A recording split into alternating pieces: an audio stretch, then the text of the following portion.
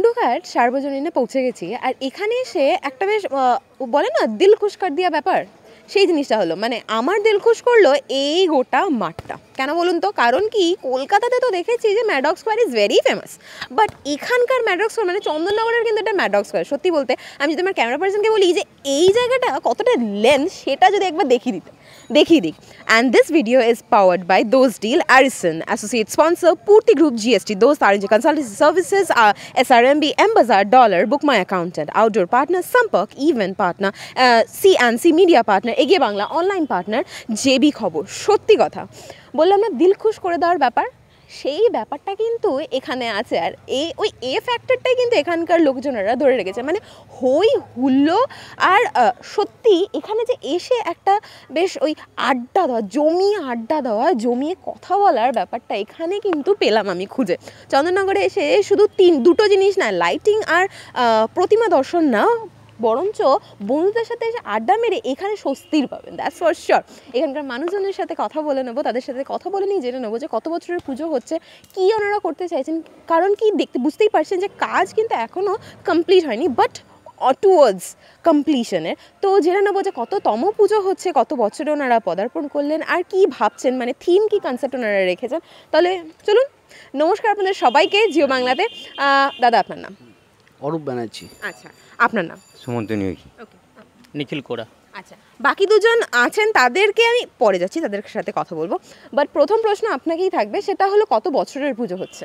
এটা হচ্ছে আটচল্লিশ বছর পুজো। আটচল্লিশ বছর তার মানে অনেকটা দায়ভার রয়েই গেছে যে এক আচ্ছা আর আরেকটা জিনিস না বললি না এত বড় একটা মাঠ সেটা একটা প্লাস পয়েন্ট আপনাদের। তো কি মানে মাঠটাকে নিয়ে কি ভাবছেন বা কোনো কিছু নতুনত্ব কিছু কি আপনারা আমাদেরকে দেবেন? মাঠটা নিয়ে ভাবছি বলতে এখানে ধরুন সন্ধ্যে থেকে বয়স্ক লোকেরা আসে মানে বসে ঘোরা মানে ঘোরাফেরা করে তারপর বাচ্চাদের এই যে খেলাধুলোর ট্রেনিং হয় ক্যারাটের ট্রেনিং তারপর ক্রিকেট এর পরেই ট্রেনিং আরম্ভ হবে ওটা ক্লাবের আর আপাতত এইগুলোই এখন পুজোর দিনগুলো এখানে কেমন কাটে? পুজোর দিনগুলো খুব ভালো কাটে। পুজোর দিনগুলো মানে কলকাতার ম্যাডক্সকার বলাই যেতে পারে। আচ্ছা মানে উনি বেশি কথা বলবেন না কারণ কি উনি চান যে এখানে এসে আপনারা প্রত্যক্ষ একেবারে উইটনেস করুন যে কি হয় এখানকার। চন্দননগর কিন্তু দুটো জিনিসে সীমাবদ্ধ নয় একদম মানে শুধু লাইটিং আর যে প্রতিমা দর্শন সেটা না হই হই করে মানুষজন এখানে চলে আসে। আর দর্শনার্থীদের ভিড় সেটা তো বলাই বাহুল্য। আচ্ছা এবার আরেকটা প্রশ্ন যাওয়াই যেতে পারে সেটা হলো মায়ের চালচিত্র কারণ কি দেখতে পাচ্ছি মা বিরাজমান। তো চালচিত্র কত কটা মানে কত হাইট পর্যন্ত রাখছেন আর প্যান্ডেলের হাইট কত থাকছে? চালচিত্র হাইট হচ্ছে আঠাশ ফুট আর প্যান্ডেলের হাইট তিরিশ ফুট। কোনো কি থিম রাখছেন আপনারা? না এবারে কোনো থিম সেরকম কিছু করা হচ্ছে না যেহেতু সামনে পঞ্চাশ আছে আচ্ছা। হ্যাঁ যার জন্য এবারে নমিনালভাবে পুজোটা করা হচ্ছে আচ্ছা। সামনে মানে বিরাট অ্যামাউন্টের খরচা আছে আছে যার জন্য একটু দু বছর ধরে মানে কম করে ওটা ইয়ে করা হচ্ছে আচ্ছা। তাও নয় না করে এবারে ধরে রাখুন সাড়ে তিন লক্ষ টাকা বাজেট আচ্ছা বাহ বেশ।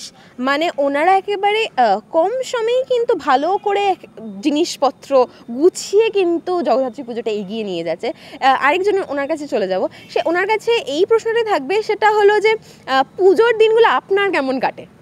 আমার তো খুব ভালোই লাগে কেন ভালো বলতে বেশি এনজয় করতে হয় না কারণ আমি যেহেতু এখানকার টিচাররা টাকা পয়সা তুলতে হয় নানা রকম সমস্যা আমরা জর্জ হয়ে থাকি বাড়িতে আত্মীয় স্বজন থাকে সে তার তারাই এসে এখানে এনজয় করে আমরা বেশি এনজয় করতে হয় না কারণ বারোরই টাকা পয়সাটা আমাদের মেন মুখ্য ভূমিকা কারণ টাকা পয়সা না থাকলে সব পুজো মিটতে মিটতে প্যান্ডেলকে দিতে হবে একে যায় সব ইয়ে তাই জন্য আমাদের ওই ভূমিকা অনেক টেনশন থাকে যতক্ষণ না মিটছে যাতে। ধার যাতে না হয় বা লোকে এসে যাতে পয়সা হাত না পাতে সেইটা আমরা বেশি সেটা তো money matters that's for sure but পুজোর কটা দিন মানি নিয়ে না চিন্তা করলেই নয় কি?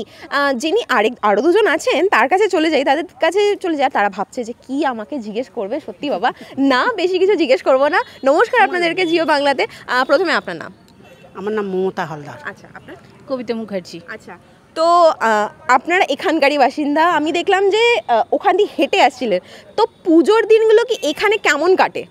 কাটে বলছে কাজ করে এই যে পুজোর বাসন মাজতে এসছে বাসন বার করছি। ওই জন্যই তাড়াহুড়ো করছি দুজনে বলছি বাসন মাজবে কাজের লোক এসে গেছে কালকে নাড়ু হবে। আচ্ছা। ওই জন্য ওই সব নিয়ে আমরা ব্যস্ত থাকি পুজো নিয়ে। আর আমাদের এখানে প্যান্ডেলের যত না চকচম হয় তার থেকে আমাদের পুজো খুব ভালো হয়। আচ্ছা। আমাদের নবমীর দিন ভোগ যা হয় ধরুন এই চত্বরে চত্বরে রকম ভোগ দেয় না। আচ্ছা। এত সুন্দর ভোগ হয়। আমাদের নৌমির দিন আসবেন ভোগ খেয়ে যাবেন দেখে যাবেন। হ্যাঁ কত সুন্দরভাবে উনি বললেন যে নবমীর দিন আসবেন তাহলে আমি তো চলে আসি আপনারা আসছেন তো?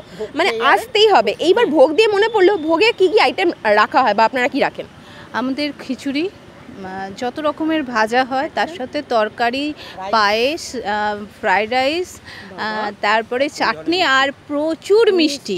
মিষ্টির উনিশ রকমের করে মিষ্টি হবে। বাহ! উনিশ সালের উনিশ রকমের মিষ্টি কিন্তু এখানে এসে একবার চেখে দেখবেন নাকি? তাহলে প্লিজ চলে আসুন। এখানকার শুধু যে আড্ডা হবে সেটাও না মিষ্টি মুখও হবে। চন্দননগরের কিন্তু ফেমাস মিষ্টি। হ্যাঁ তাহলে চলে আসতে হবে এখানকার এনজয় করতে হবে। হ্যাঁ বলুন। বড় সাইজের জল ভরা যে ছোট জল ভরা নয় আমাদের ওই বল- জন্যই বলছি নৌমির দিন আসবে। এসে তুমি ছোট বলে ছোট বললাম কেন মেয়ের মতন আমার। এসে দেখে যাবে যে দেখার মতন আমাদের এখানে পুজোটাই দেখার মতন আমাদের প্যান্ডেল লাইট এসব সেরকম হয় না।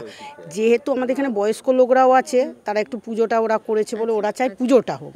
ওই জন্য আমাদের এখানে পুজোটাই আর আমাদের মা খুব জাগ্রত যে যা মানসিক করে যায় তার ফলে। কলকাতা থেকে লোক এসেও আমাদের জিনিস দিয়ে যায়। কেন না মানসিক করে গেছে মেয়ের চাকরির জন্য সে সোনার টিপ দিয়ে গেল।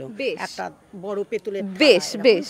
তার মানে বুঝতেই পারছেন যে খুব সুন্দরভাবে কিন্তু ওনারা গুছিয়ে পুজোটাকে করে। মানে একেবারে একান্নবর্তী পরিবার সেটা না বললেই নয় এখানকার মানুষজনের সাথে কথা বলে সেটাই বুঝতে পারলাম। আসতে হবে তো এখানে আসতে হবে জলভরা খেতে হবে তো তার জন্য আর উনিশ রকমের মিষ্টি তো খেতেই হবে মানে সেটা টু বি মাস্ট আমি তো চলে আসব হোপফুলি আপনাদের সাথে হয়তো দেখা হয়ে যেতে পারে তার জন্য চলে আসুন এখানে উপভোগ করুন এই সুন্দর একটা অ্যাম্বিয়েন্স আর ম্যাডক স্কোয়ার আসতে হবে তো না না, কলকাতার ম্যাডক স্কোয়ার বলছি না, চন্দ্রনগরের ম্যাডক স্কোয়ার আমি চলে আসব হোপফুলি আপনাদের সাথে দেখা হয়ে যেতে পারে। হবে বই কি? নিশ্চয়ই হবে। আমি Rashida Chatterjee with camera person Sujay, ভালো থাকবেন, ভালো রাখবেন অ্যান্ড আমার মনে হয় যে এর থেকে আর বেশি কিছু বলার নেই, কারণ কি এই ইনফরমেশনগুলো শুধু জিও বাংলাতেই পাবেন সো কি পচিং জিও বাংলা, নমস্কার।